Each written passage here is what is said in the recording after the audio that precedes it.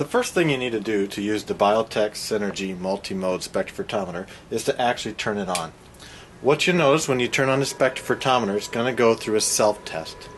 That self-test is just making sure the light source is in alignment, making sure everything's working okay, and also it will kick out the plate reader just to make sure that works, or the plate platform. It'll pull it back in. When the instrument is done with this self-test, the plate holder will come out and stay out uh, what's important at this point is to realize, at least I've been told by the manufacturer, that fluorescent lights can saturate the detector. So when this is done, you'll want to make sure you close it so you don't throw off your results or make your detector less sensitive. Uh, the quick way to do that is with the open and close button, which is right here. And once again, this is the power button. So just to close it, push it, and it will pull the plate in. The correct way to load a plate is to push the button to open it, plate platform comes out. What you'll notice here is the A1. So if you look at your 96 well plate, hopefully you can see this, you'll see A1 is up here. So the appropriate way to put your 96 well microtiter plate is in that form and then push the button to close it. A lot of times this will be run through the software and so once you start to tell the software to read a plate, the plate will the plate platform will come out and then you just load your plate accordingly.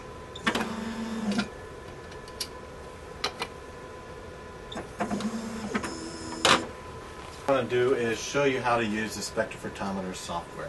The software that came with the spectrophotometer is called Gen 5.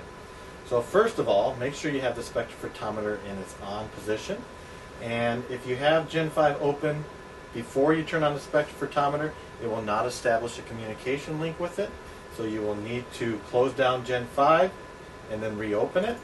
When you open up Gen 5, you'll see an interface in this type of format. Basically, you can create a new experiment and protocol, and I'll talk about what those are in a second. And also, if you have recently performed experiments or protocols, those will show up in the right here. This is a fairly nice spectrophotometer. It's what we call a multi-mode spectrophotometer.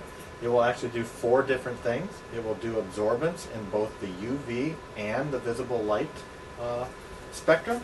It will do fluorescence readings, so uh, excitation and emission, and it will also do luminescence.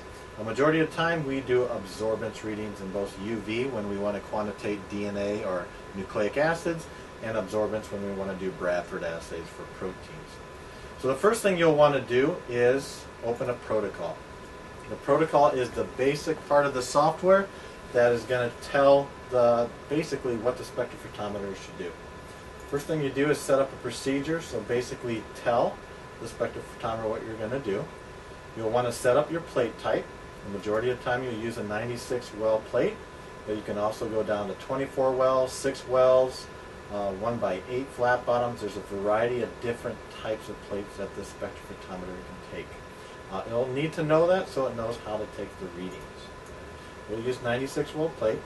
Uh, you can do a variety of different types of readings here. Uh, but what we're doing in this procedure menu is basically telling the steps that it needs to perform. You can tell it to take a reading, you can shake if you need to mix something. You can actually delay it if you have an incubation time. You may do time readings or kinetic readings. You can monitor a well. You can also adjust the temperature, so you can even grow bacteria in here and have it shaking, and you can monitor the growth phases.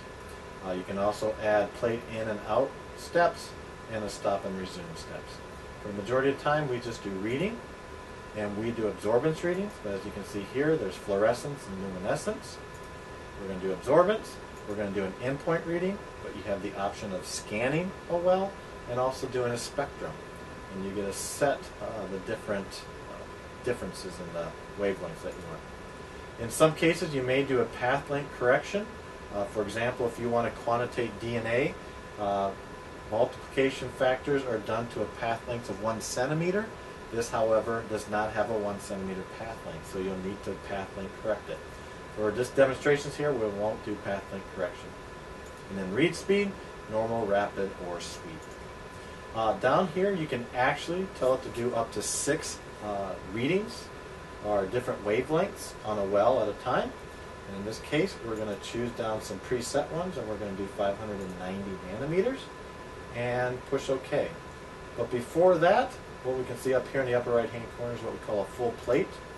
There are times where you don't have a full plate, so you don't want to waste a light source. They say these light sources are only good for up to a million flashes. So if you don't want it to flash empty wells, it's probably a good idea to dictate what wells you want it to. So here I'm only going to have it read half the plate. This will not only speed up the process, but also extend the life of your light source. Once you're done, push OK. Uh, if you need to add any other steps, add them, and then you can also drag and drop them in the appropriate order.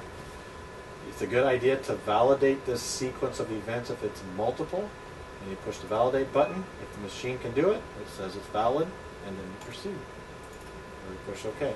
Now what's important is to actually get a reading, you need to tell the instrument that there's actually something in the well. So this is what the plate layout functionality is for. And in this case, you can do samples, you can do empty, a blank. So we'll do a blank here, and we're going to do a blank in a replicate. So we just set this to 3. You can do your replicates horizontally or vertically.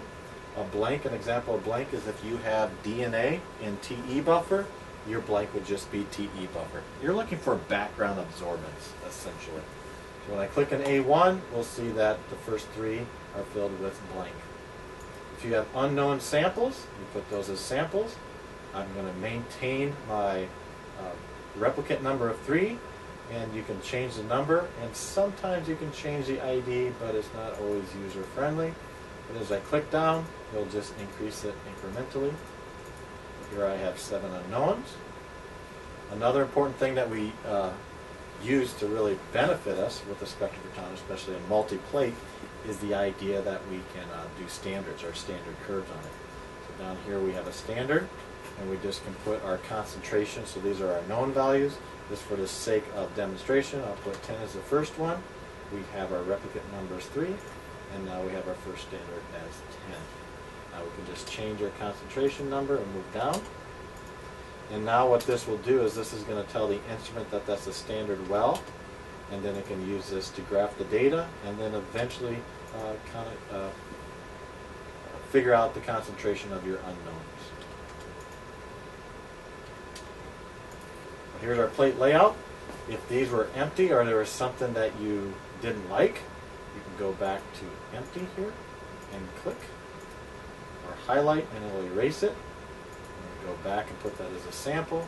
Go up here and change it to 7, which is what it was, and I replace that.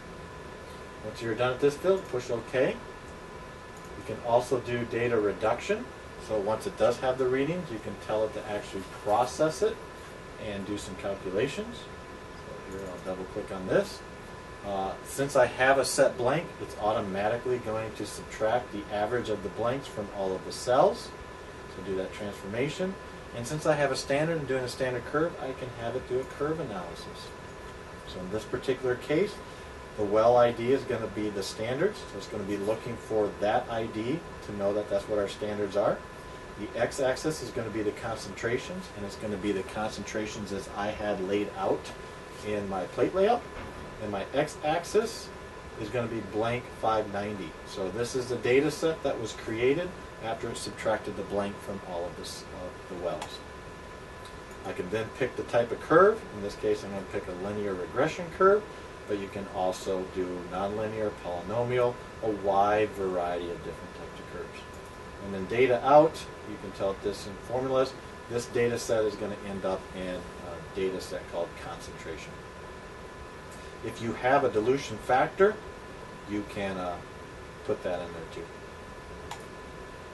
And here we got it, transformation first and then our curve analysis. If we're happy, we just push OK. And now we're essentially ready to go in terms of using the instrument. The other menu items here are to export your data in a wide variety of ways and other options that I personally haven't messed around with. Right? The first thing you'll want to do is save this. So you can go under the icon Save or go under File and Save or Save As. I'm going to push Save. And I'm going to do this as testing B protocol. Push Save. And now I want to run the experiment. So I'm actually going to want to put in a plate and gather some data. And to do that, I have to do that within an experiment.